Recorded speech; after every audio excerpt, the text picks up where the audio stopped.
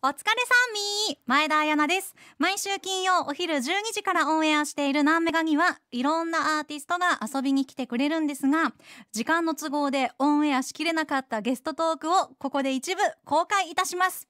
生放送またラジコのタイムフリーと合わせてぜひお楽しみください。メガメガこの時間はこの方にお越しいただきました。自己紹介をお願いします。テンフィートたくまです。イエーイ。今日はたくまさんお一人お一人です珍しいですよねお一人のキャンペーンって。そうなんです。はぐれました。途中まで一緒にいたんですけど。いやーおかしいなそれは、はい。ねえそうかお二人はどこに行ってしまったんでしょうか。ねえ。ちょっと心配なんですけれども。はい。今日は、えー、たくまさんが代表してね10フィートから来てくださいました。番組への登場が5ヶ月ぶりとなります。はい。はいお久しぶりです。お久しぶりです。まずはね久しぶりということで番組から素朴な質問ですが整理整頓って得意ですか？不得意です。ものすごく。本当ですか？あのね、うん。基本的に、えー散らかってるエブリタイム散らかってるエブリデイなんですよ。うん、でもあのたくまさんの YouTube とか見てたらはい。背景めっちゃ綺麗ですよね。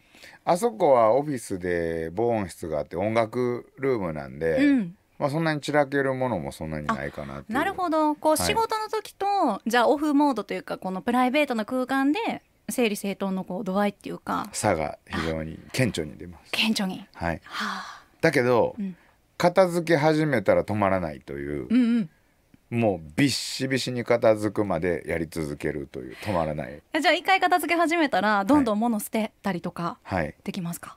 あいけますガンガンいけますへえ。でもなかなか片付け始めないあ片付け始めない。ないうん。ずっと散らかってます。ああそうなんですね。はい。でもちょっとぐらいこう散らかってても違和感ない気持ちいいぐらいの感じありますよね。そうですけど多分僕割と散らかしすぎな方 そうですか。気をつけるようにはしてます。あとはなるほどね。なるべく先を張ったように、うん。断捨離じゃないんですけどそういう大掃除的なタイミングが来た時はもうなるべくたくさん捨てる。あはい。あなんかこう捨てるの勇気いりますよねでめっもちゃいります。ね。なんか断捨離の本とか見たら、うん。もうよっぽど心がきらめく服しかもう残さないみたいなこととか書いてる。でも大体どれにも思い入れとかありますもんね。思い出とか。はい。誰々があの時くれたとか。そうなんですよ。もらったやつとかなかなかね。確かにこうたくまさんの、はい。い、っぱいこうお洋服をいろんな方からこう紹介されてるイメージがやっぱあります。はい。服屋さんとかのブランドさんのねうん。友達も多いんで、うん。なかなかねそういうわけにはいかないんですけれども。あの10フィートのグッズも、まはい。あ言うたら京都大作戦 T シャツ一つ置いてもはい。めっちゃ量あるじゃないですか。はい。種類もあるし毎年やらまあ去年なかったですけども。はい、そういうのはどうされてるんですか？まあ、僕らは別にそんなもらわないのであれ、少しはもらいますけどね、うんうんでも始まった当初はめっちゃ嬉しかったから全種類1枚ずつ欲しいなんとか言ってたら、うんうん箱1箱とかになるんうんで ですよね。これうん。ずっと続けてたら東京ドーム5個分ぐらいになってまうなと思って。すごい量なるそれ。すごい量。わかんな思ってもうちょっとずつもらうようにはしてますけどそうかそうか厳ね。選してね。なるほどね、い、やあのメンバーはどんなん置いてんのかなってちょっと気になったりしますよ。メンバーは？あのそう10フィートのあ皆さんがね。そうですよね。そうそうそう。今度調べときますわ。あお願いします。はい、メンバーの食べかけのキットカットとか食いやいべたりしてやいやそれいらないです グッズグッズだけお願いわかりしまますした。はい。さあ、テンフィートですが、えー、3月10日にニューシングル、青がリリースになりました。おめでとうございます。ありがとうございます。イエーイこれはもうありがとうございます。はい。はい。えっと、今回シングルとしては20作目。20作目です。もう真っ青のジャケットですね。真っ青です。真っ青ですよ。はい。あのー今回の青は、えードラマ、バイプレイヤーズ、名脇役森の100日間のオープニングテーマ。ということで先行配信もねされていたんですが、えっと、特にこう書き下ろしたというわけではないんですかね？はい。これはもうコロナのうん、いわゆる第一期ステイホームの時に、うん友達にも会えなくなってライブもできなくなって、ううんわーってなった時にもう衝動で56曲うおーって作ったんですけおどおすごい。その時にできたうちの1曲です。あなるほど。で前の「シエラのように」っていうシングルとほぼ同時にできたんですけど、うんうんその時にお話をいただいてどっちが似合うかな言うてこれにしました。おーなるほど。はいうんうん。いやこの青すごいあのライブで聴きたいなと思う曲はい。かついやこう歌詞にいろんな思いをあの載せました。載せたんですいろかんなすみません聞きながら。載せるのは僕なんですけど。そうですよね、はい。すいません。載せました。歌う時にね、載せるのはたくまさんですけど。い。やでも全然載せてください。いいんですよ。聞いてる時にあの思いを載せながら聞かせていただきました、ありがとうございます。いやあのこうどんなに言葉にしようとしてもその言葉がなんかしっくりこなかったりとかはい。こう分かり合えなかったりとかはい。あの逆にちゃんと言葉にすればよかったのにそれができなかったばっかりにこう歯がゆくなってしまったりとかっていう経験って、はい。まあ、きっと皆さんあると思うんですけどはい。なんかこう大人になったらやっぱそういうの増えますね。ああそれそうかもしれないですね。うん。確かに。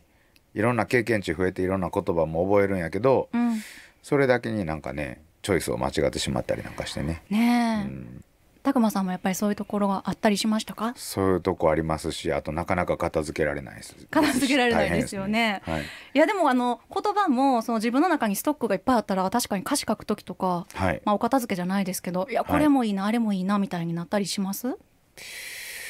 そうですね。なんか組み合わせ組み合わせ？うんうん組み合わせ。組み合わせが何ですか？組み合わせやと思うんですよね。歌詞って。うん。うん、なんかその普段はあの使わへん組み合わせを上手にこう、珍しい組み合わせで文作ることによって歌詞っぽくなったりあなんかこう強い意味になったり深い意味になったりハテナがつく文になったりするんちゃうかなと思うんで。なるほど。じゃあたくまさんの普段のこう交互体というか普段使い慣れているものじゃないのが歌詞には結構反映される出てくるっていうことですかね。なんかそういうのが出てくるまで考えたりしますね。うんうんうんうん。なるほど。なんか大きくて小さな罪悪感がとかいやここんな歌詞書いたことないけど そういうなんかへんてこりん。ななんかこう組み合わせでへんてこりんやけどなんか伝わるような文になったりとか、うんうんうんうんそういうことばっかり考えてますね。ああなるほど、うん。でかつその自分の気持ちにこう嘘がないようにっていうところもあったりしますか？そうですね。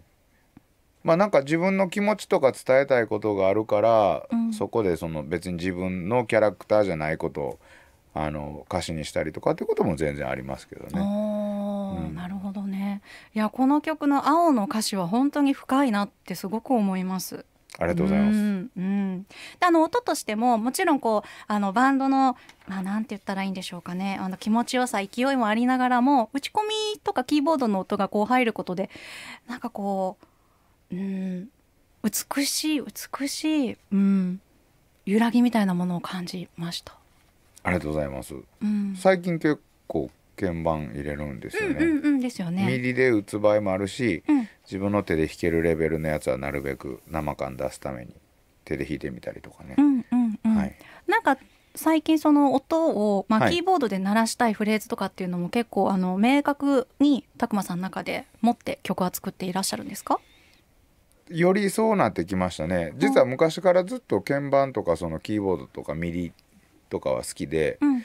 ちょこちょこはやってたんですけどその鍵盤を入れてない曲でもほんまは入れたかった。最初は頭の中で鳴ってたっていう曲って今までいっぱいあって。でそれをなんかその曲のテーマに従ってとかそのロックバンドっぽくするためにとかで入れなかったことってすごいたくさんあったんですけど、うんうん。なんかその必要ってあんのかなって最近思ってきてで鍵盤入れようが何しようが結構3人がねしっかりバンドでロックしてるからあんまりそういう試しもせずに引き算するのはもったいないなと思って、うんまずはじゃんじゃん入れるようにしてます。なるほど、はい。うんうんうんうん、なんかこうバンドのアンサンブルが失われずしてその音をこう取り込んでる感じはすごいこの曲ありますよね。あ、ほんまですか。うん。やったら嬉しいです気持ちのいいね。曲。ねそしてこのシングル2曲目は「朝霧を抜けてはい、」こう青から紫に変わるわけなんですけど。はい、この「朝霧を抜けて」の始まり方がねはい。美しい、夜更け紫。夜更け紫。意味わかりませんよね。うんでもなんかこう絵がこう浮かぶ感じはありますけどね。朝空の色がこうどんどん移り変わるみたいな。やったら嬉しいです。まあ、なんか文章としては完結してないんですけど、うん。なんかそういうところもこうインスピレーションというか思い浮かんだことをなるべく並べていこうっていうふうに心がけて作ってました。う。ーん。ん実際に拓磨さんこうあの夜型っていうか、まあ、はい深夜帯に曲を作ってらっしゃるんですか、が多いですね。あなるほど、ううんん、うん。まあ一番こう静かで集中できる時間帯な気がします。うん、そうですね、うん。あとはまあ昼間バンドで練習したりして、まあ、あと夕方夜人と会ったりしてとかプライベートがあってで深夜を音楽の時間にがっつり使うということは多いですね。なるほどね。いやなんかでもこの朝霧を抜けてはそのそうさっきも言ったようにこう絵が浮かぶしすごいこうあの叙情的な始まり方をするセンチメンタルな曲だなと思って。ありがとうございますう。ん。ねこの「Stay Away」ってこうどういう思いで出てきたフレーズですか？うーんなんやろまあ簡単に言うたら一人になりたいというか、そのそうとしといてっていう感じなんかなまあ別に、うん、難しいな、うん。うんほっといてくれとか一人になりたいって、うんうん。なんかネガティブに捉えられがちやけどそういう時間も絶対大事やと思うんでね、そういうことを歌詞にするのも僕は素敵だなと思ってわかります。書きました。はい、うん、なんかこうコロナ禍で、うん。みんなやっぱり知らず知らずのうちに疲弊して疲れてる部分ってすごいあったと思うんですけどはい、このなんか「ステイアウェイでこうあのみんなの心をこう癒してくれたような気がしました。あ本当ですか、うんうんだと嬉しいです。ねえ、うん。直樹さんの最後のコーラスもいいですね。いいですね。掛け合いしてるところ、うんいい感じで。ねえ。また僕と全然声が違うから、うん。そういう効果が出てるかなと思います。はい。はい、あの3曲目のタンバリンについても聞きたいんですけど、はい。もうこれはもうイントロからゴリゴリでもうめちゃめちゃライブ映えするかっこいい曲なんですがはい、リズムもすごい気持ちよくって。はい、タンバリンはこれはあの五感で決められた感じですか？そうですね。なんかその気持ちを打ち鳴らせみたいな意味合いで歌ってるんですけど、なんかこう気持ちを叫ぶっていうよりかはなんかそういう思いをタンバリンです。タンバリン。タンバリンですよね。タンバリン打ち鳴らしていこうよ。えでタクワさんタクワさんのね、はい。タンバリンってはい。難しいってよく聞くんですよ。演奏が？そう。めっちゃ難しいですよ。あやっぱりそうなんでうすね。ちにもあるけどうん。むっちゃ難しいですなんかその、はい。でも一見、まあ、カラオケとかにもあるし、はい。みんな一回ぐらいは手に持ったこともあるし、なんか簡単そうな雰囲気は持ってるじゃないですか。はい。でも実際はそんなことないっていうところが、はい。あの人生みたいやなと思って、はい。だからタンバリンなんかなってそれ使お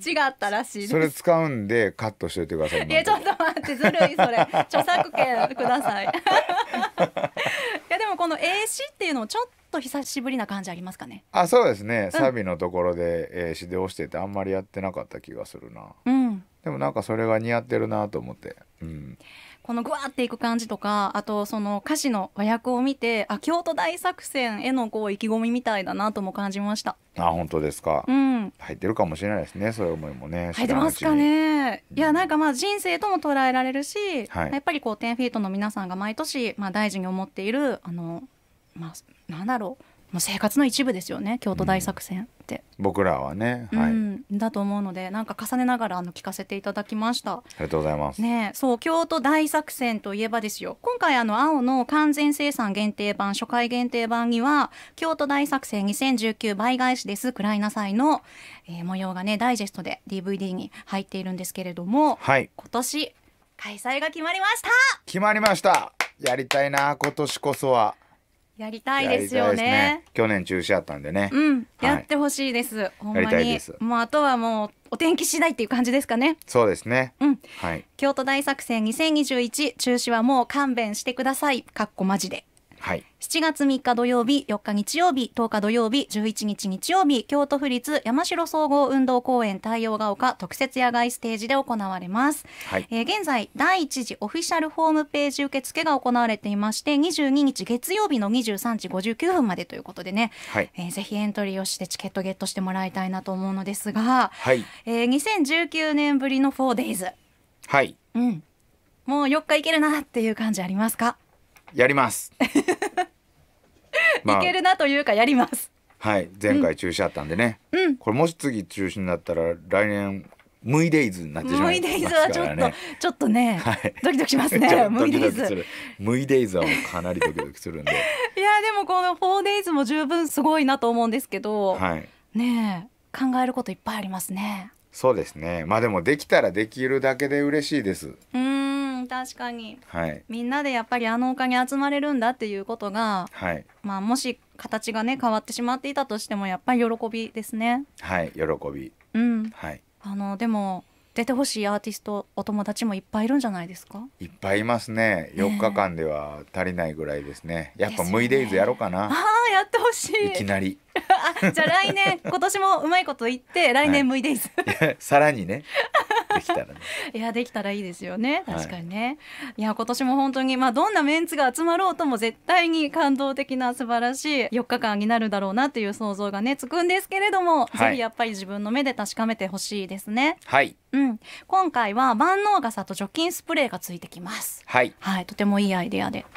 はい、うん、そうなんです、ね、みんなで考えました。うんうんうんうん。なんか新しいですよね。こう傘をさしていいっていうそうですね。あの普通フェスとかって傘禁止なんですけどまあ暴れたりね、うん、激しいノリで傘が危ないっていうのが基本やったと思うんですけど、うん、まあ、今ちょっとね声出せなかったり激しく動いてはいけないっていうガイドラインがあるのでまあその時どうなってるかわからないですけど多分まあ続くだろうということでまあそれやったら傘を、えー、ディスタンスの距離を取る目安にしてもいいし、うん、であれね日傘で23度変わるみたいなんですよ温度。僕。全然違いますよね。日傘生涯さしたことないから分かんないんですけど、うん、熱中症ってどこのフェスでもいっぱいいるんですよ。もうどこのフェスでも、はい、あれももう課題なんで。もうなんかね自分が気をつけててもやっぱりなることってありますよね。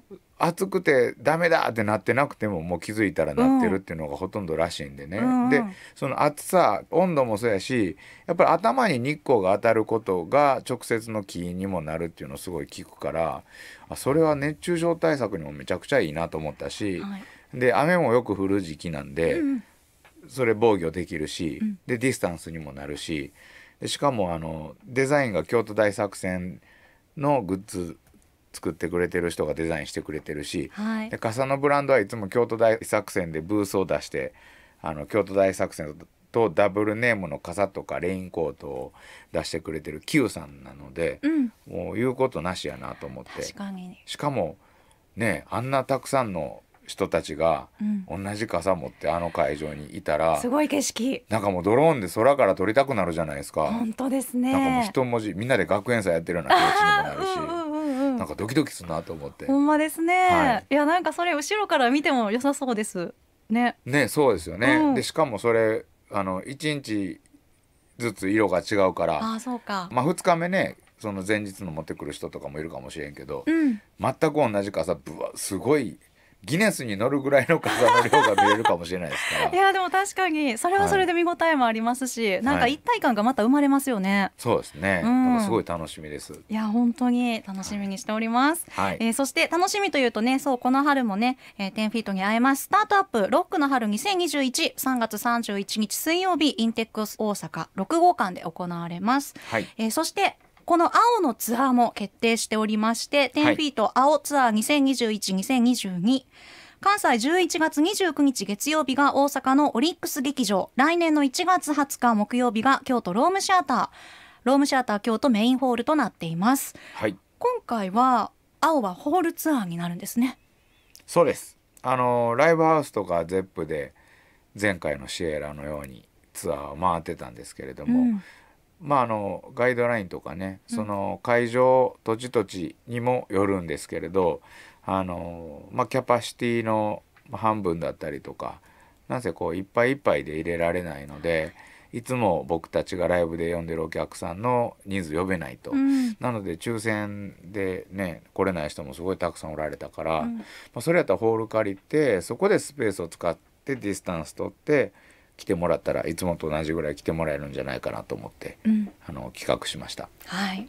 いや、はい、あのホールで聴いてよりグッとくる曲もきっとたくさんあると思うので、はい、ね青はもちろんですけど、はい、うん、楽しみですね。僕らも楽しみです。うん、はい。